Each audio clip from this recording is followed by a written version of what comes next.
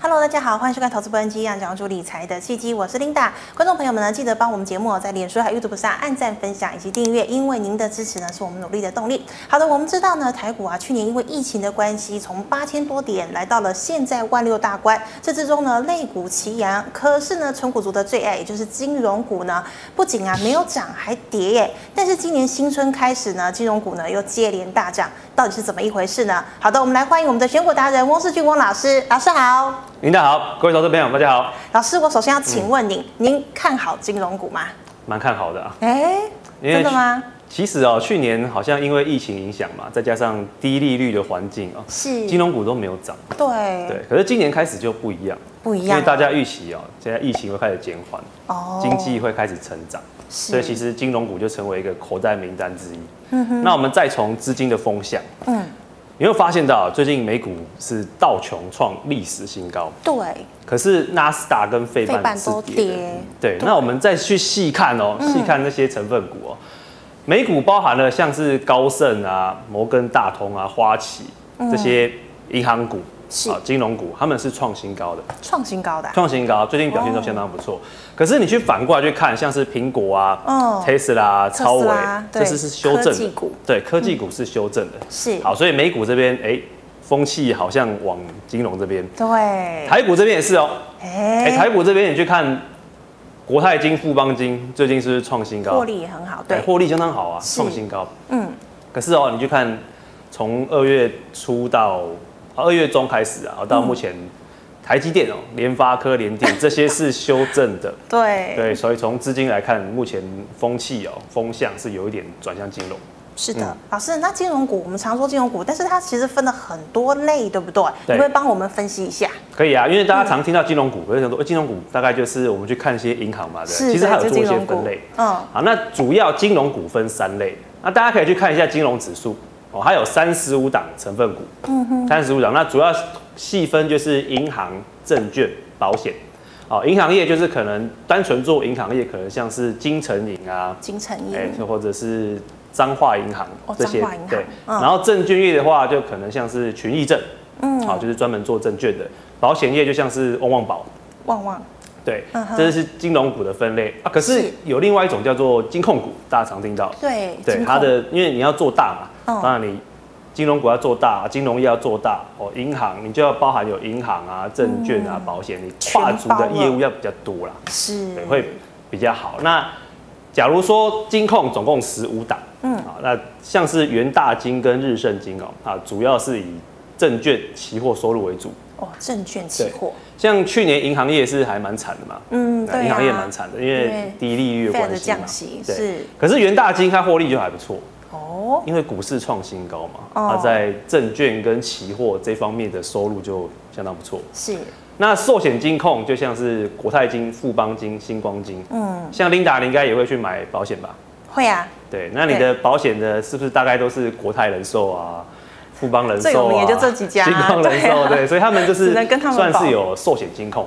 是，那单纯就是比较比较靠手续费收入或是财富管理，好、嗯放款这一块，就像有中信金啊、玉山金啊、台新金、永丰金这些。那最后我们常听到的是关谷对，关谷，啊，纯股最爱做关谷，对，因为不会倒，不会倒，对，对不会倒，最稳健。但它最稳健，它相对它的获利成长性也稍微比民营的稍微差一点一点啦点点，对不对？哎那为什么叫关谷？也就是说，它在关谷占的股份会比较高。简单来说就这样啊。那目前金控就四家，兆丰第一，华南、和库，哦，就这四家而已对，啊这。四家关谷部分，金控部分呢，哦嗯，是好，所以呢，金融股就分成这一些这样子。好的，那么金融股到底应该要怎么操作呢？我们请老师带我们来了解。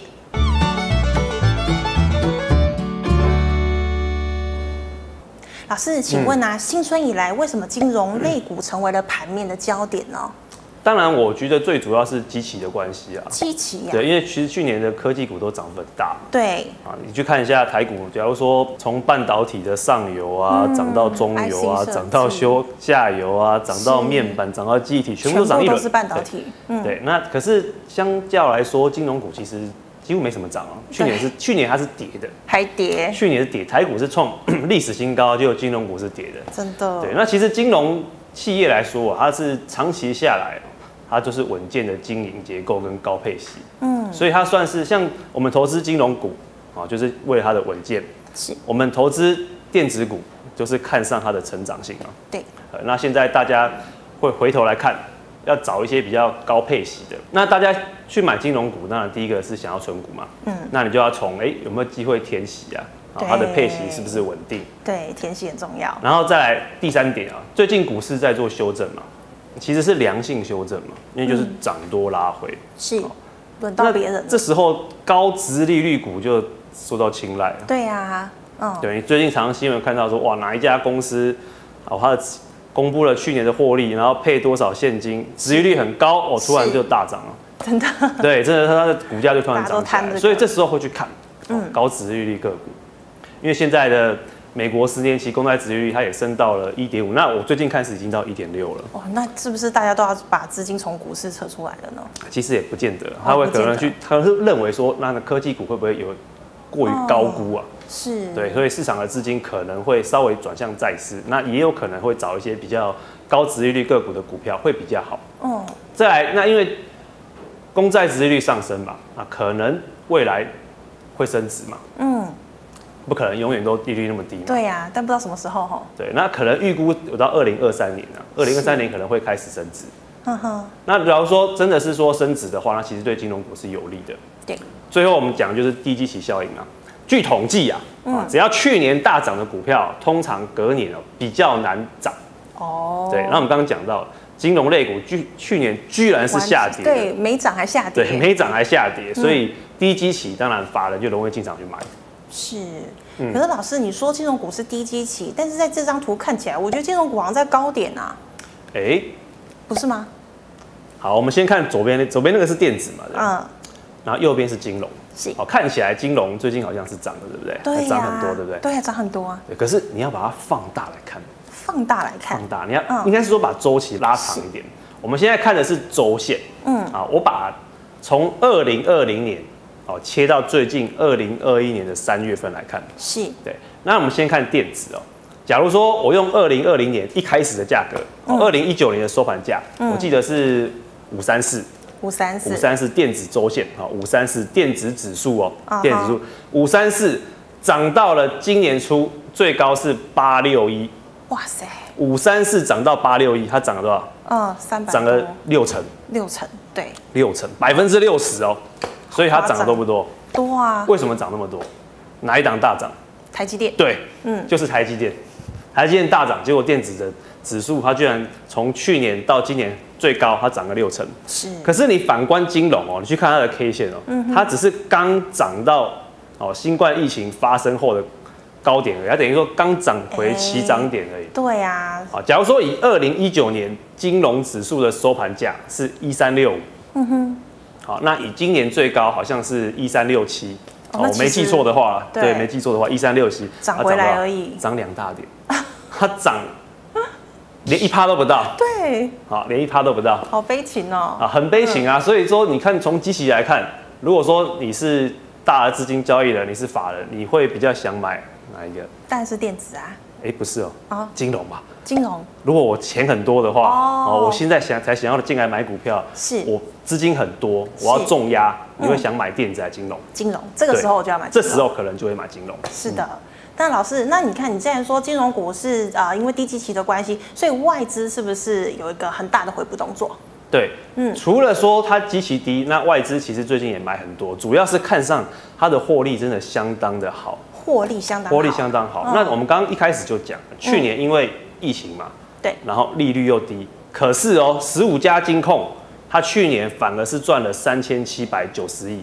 嘿那这个金额你看什么没什么感觉，可是后面那几个字你就知道了，嗯。改写历史新高。对呀、股价没涨，但是那去年虽然银行业没什么赚，可是在寿险跟证券期货这一块是赚蛮多的。哦，那又公布了哦，嗯。就是说这十五家金控哦，它前两月一二月哦，又公布它的获利数字，哇，吓死人，居然赚了一千三百亿，很高，很很高啊！你看去嗯。年才赚了，去年一整年赚三千七百九十亿，是。今年前两个月就已经赚到超过去年的三分之一，三分之一了。一千三百亿，前两个月而已哦，是，所以获利相当的好。嗯。那我们刚才讲了嘛，去年金融指数跌五趴，今年绝对会成为资金新宠儿。是，再加上外，你刚刚讲的外资去年都卖，对，为什么它第四季要卖？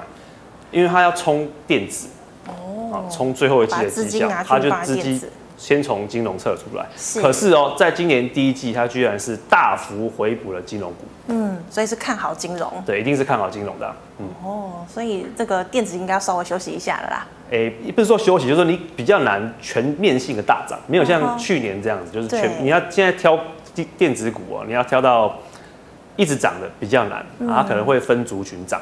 哦那金融这一块可能就是它会长期来看，从今年开始表现会相当不错，真的嗯该它涨了这样子。对，该它涨了。那老师，那新春以来啊，三大法人是不是一直都在买金融股呢？对啊，我们从这张表来看一下哦。嗯，我们从统计从二月十七到三月十二就可以了。这可能这不到一个月的时间，你看一下外资在金控股部分啊，几乎是全面性的买超。真的。啊买超第一名中信金哦，三大法人，我们纵观一下，我们把三大法人一起拿出来看。嗯。好，三大法人在中信金就买了十六万张。是，啊，国泰金哦，股价很高，他就买了八万多张。对，可是它反而是调节电子股嘛，像台积电就是一直卖从过完年就一直 卖，卖卖卖，卖到三月中才开始稍微回来一稍微买一点回来，稍微买一点回来，联电也是啊，是联发科也是，啊外资都占卖方。反观你去看中信金、国泰金，好，那再来开发金也买相当多嘛，买了嗯。四万张，三大法人买四万张，是。富邦金哦，三大法人也买了一一万一万九千张千，多张，对，所以这些金控股哦，外资基本上外资跟法人哦，基本上都是占买方的，而且买都买很多。买很多，买非常看好的，是。对，那老师，你刚刚说这个金融股获利很好，那是全面的都获利很好，还是说有哪几个几档表现比较特殊好？，那既然有十五家，我们就要从中挑出几家。是对，就说哎、诶接下来你可以特别关注它。嗯，好，那我们第一个我们去看法人买卖超嘛，对不对？第二个我们先看获利的部分。好，那获利的部分我们可以看到框起来哦，第三格哦，嗯累积税后盈存益，也就是说，哎、它这两个月它赚了多少？好，好，那你看数字赚最多的，哦，就是三百八十五亿，就是富邦金跟国泰，哦，这两家赚的差不多。那我们去看后面的累积 EPS 啊，排行下来，对，好，最高的是富邦金三点七七嘛，对好，那你看3.77数字可能没什么感觉，因为要看股价高低，啊所以我们就看年增率年增率，倒数第二排那个年增率，是。啊，就是说，哎、从这今年哦、前两月的获利年增率跟去年前两月的获利年增率，好，我们挑出，你看几乎都是正的嘛，对呀，啊，只有一家玉山金是负的，是负的所以它股价表现比较弱一点。真的。好，我们看年增率，那要高啊，嗯要非常高。好，我们看有超过百分之百的有几家，有三家。二三，超过百分之百哦，年增率超过百分百是非常可怕的哦。是。有三家，第一家是富邦金，年增率百分之一百六，啊哈啊，第二家国泰金，年增率百分之一百一，啊，再来国票金百分之一百九十五，是。最多的最可怕的是开发金，对。哦年增率百分之三百五，十一，哇，这个获利是相当的可怕。对呀，很夸张欸。所以我们先把这几家挑出来，哦，好，再配合上一页哦，嗯外资三大法人有大幅买超的哦，符合的，我们先挑了三家嘛，嗯哼。就是国泰金、富邦金跟开开发发金。金，对，然后我们再往下看，是的，好了，所以嗯。获利也找了嘛，对，好然后再来法人买卖超也找了，是。接下来我们就看现金值利率跟股价净值比。是，好，我们来看哦，那 Linda 现在有没有做定存？有，有做定存哦，嗯好，画面先切回来，没关系，做定存嘛。嗯，我最近也去做一笔定存，哦，真的吗？你知道利率多少吗？一年利率大概不到一趴吧，不到一趴，零点八几，零点八几。对，存的很心酸，对呀，老对存的很心酸对你这是存好玩的零吧？点八趴。嗯那现在股票啊，很多其实现金值利率都相当高，嗯，只是说你去买一些比较贵的电子股哦，你怕就是赚一点利息啊哦，嗯现金值率，可是你却赔了价差，对，所以这时候金融股的价值就来了，嗯因为它的现金值率真的都相对高。那我们刚刚讲过嘛，跟去年比，基期相对低。是，好，那我们现在就来切。好，我们再把这个画面稍微放大，看仔细一点。我们刚刚讲哦，一年的定存零点八0.8趴，好惨。好，对。那现在哇，我们看一下金融股哦，每一档几乎都是三趴以上，真的，真的都三趴以上啊。最最弱的玉山金也有两趴左右，它也有两 啊，趴，稍微弱一点的。近我们用近五年统计，哦，嗯。平均的现金股利值利率，那我们一样挑高一点的四趴以上，是。哦，我们至少抓今年的一年的定存五倍好了，好嗯。零点八乘以五，至少要四趴，4%好，那我就抓了几家，嗯。好四趴以上，好就有富邦、国泰、开发，我帮你框起来。哎，跟刚刚重复了。对对对，那有一些下面也有一些也是超过四趴，那我就是抓跟刚刚一样的。好，接下来就要看股价净值比，嗯，好，低于一的我们再买，对，代表它比较低于一嘛比。较低，对，是那一样框起来是那三家，哎股价净值比低于一的，嗯富邦金、国泰金也是一样，这三家开发金，真的，对，这三家都是属于民营的，民营，对，嗯那基基本上如果说关股的话，你想嘛，关股的话它就是获利比较稳，应该说它的经营模式比较平稳稳健，对，好、但是如果说民营的，哦，这经经济开始起飞的时候，经济开始好转，当然民营的银行，你看它的财富管理部分啊，甚至手续费收部分，它会比较冲，嗯哼，对，像你去银行的话。应理专应该都会想找你多买一些基一定金会啊疯狂推销险啊，对 对啊啊，疯狂推销啊。但是可是如果你走到关谷的嗯，银行，它可能就不会这么积极。对对，对，所以目前来看哦，这三家公司民营的我们是比较推荐。那怎么买？嗯，对，怎么买？对你，假如说你最近可以把这三家的 K 线打开来看哦，其实它从过完年啊，基本上没有跌破月线啊，是，它几乎是在五日沿着五日线往上走，所以我的对算是相当强势的。所以我的建议是，只要能看到跌破十日线，好往下分批买进。哦，因为金融股跟电子股不一样，嗯。电子股可能你买了，你就期待它有短线这样子往上喷发，对。而金融比较难，它是属于就是船长型，线，对，嗯。所以它蛮蛮长就会不动，它就碰到五日线，对，所以说最好是跌破十日线以下分批买进，啊嗯哇，谢谢老师。老师不仅呢把这个金融股呢这十五档分析的很透彻，还告诉我们操作策略到底应该要怎么做哦。好，谢谢老师精彩的分享，谢谢。谢谢嗯好，观众朋友们呢，今天呢我们的翁老师呢跟我们聊的主题呀、是这个金融股哦。那么金融股呢，老师刚刚有讲，金融股分了很多种类，还有金融股呢今年开春以来它的优势哦，刚刚包括了像是现金股利啦、股价净值比等等呢，老师都分析得很清楚。那么还有包括所谓的这个呃选股策略啦，还有操作策略等等。那如果呢你还是有相关的问题呢，记得可以扫一下我们翁老师的 QR code 加入 Liet。老师的 QR code 呢是小老鼠 W E N G 八八八，扫了之后任何问题，老师有空都会亲自回答。好，最后呢，喜欢节目内容的朋友呢，欢迎在脸书还有 YouTube 上按赞、分享及订阅。感谢你的收看，我们下次见了，拜拜。拜拜。